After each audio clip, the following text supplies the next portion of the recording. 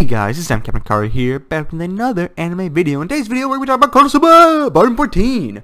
Now, this is, of course, a review on my second read-through, so let's get right into it. The book's funny, okay? The book is extremely comical. I think Aqua has some brilliant moments. I think Darkness, even though I don't like her character as much, has some brilliant moments. Kazuma and Megumin are very funny together, and Yun Yun is always a treat to read. I love how the book is very Kazuma focused, the ship between Kazuma and Megumin and their relationship really develops in a natural way. How, yeah, eventually, like, Megumin views them as a terrible person, but they're fun now. Like, they're, they love each other. Kazuma, Kazuma's watching Megumin sleep. She wakes up, and she's like, what are you doing? He's like, oh, just watching the face of the woman I love.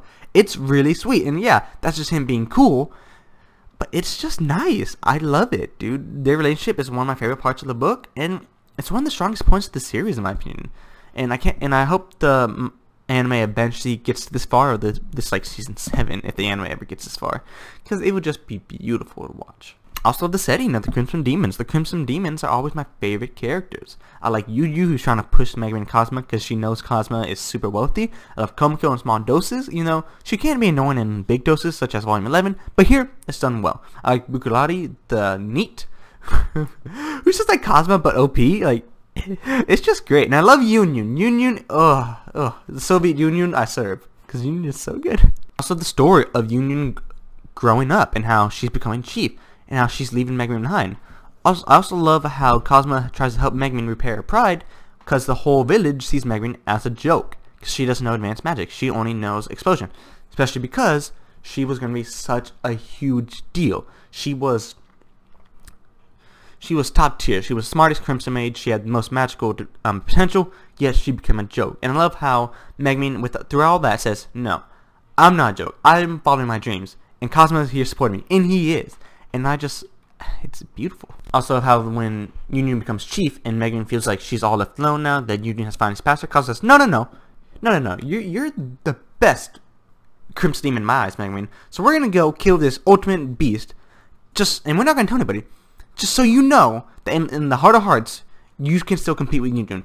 And they do. And I love it. It's such a good moment. And that's where we get one of my favorite drawings in the series. And the drawing I'm talking about is this one right here. Where, where Megumin and Kazuma, Kazuma's like, hey, I need, I need to do this for you because you're not happy. You're depressed. And it's so beautiful. Like, just these beautiful smiles, like, just two characters, like, just loving each other. Like, oh, it's so great! and not only that, the this art in this book is phenomenal. I feel like this picture of Yunyun finally growing out of a shell and like Megumin finally accepting it, saying like, yeah, we're. It's beautiful, dude. I also love this picture of Serena. Serena's best girl. And what Kazuma does in Volume 15, I just love because Kazuma's a king. He's he's brilliant. And I love how this joke that um, some of the Crimson Demons thought Megumin and Yunyun were lesbian, which he got a great laugh out of me, dude. It's it's funny. Well, I've been praising this book very, very much. There's one portion of the book that I don't like, and that's darkness. And I know a lot of people like Darkness, but those are mainly only anime watchers. If you've seen Darkness past Volume 7, she's been on a sharp decline in character. And I, it, it really hurts for me to say this, but I don't like her anymore. Darkness went from a noble who would never abuse her powers and only help her friends to a slut. And like, not that she's sleeping with other guys, but she knows that Kazuma and Megumin they they love each other. Yet she still tried to rape Kazuma. She had a roofie Kazuma. She, she also tried to like Kazuma like, hey, let's go pick up a uh, and we can just, like start chilling. She's like, why, why, don't we go to date? This is Kazuma's son. When Yuiyui, Megumin's mother, is trying to push the Megumin um Kazuma relationship, Darkness like, um, no, no, no, you cannot do that. Okay, they should not be dating. That's a young child. You should. Me and Kazuma though. oh, we're good. It hurts to see um Darkness being so selfish, and she's inconsistent because sometimes she'll be like that, and then she'll be normal.